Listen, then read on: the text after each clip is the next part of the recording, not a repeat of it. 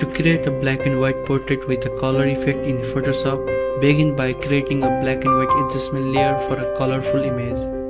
Next, create a hue saturation adjustment layer and tick the colorize option. Adjust the saturation and hue to your preference. Invert the layer mask by using shortcut key Ctrl plus I. Use the selection tool to select the t-shirt. And invert the mask again. Next select the brush tool, make foreground color white and start painting over the eyes. Remove any excess color by switching to black foreground color.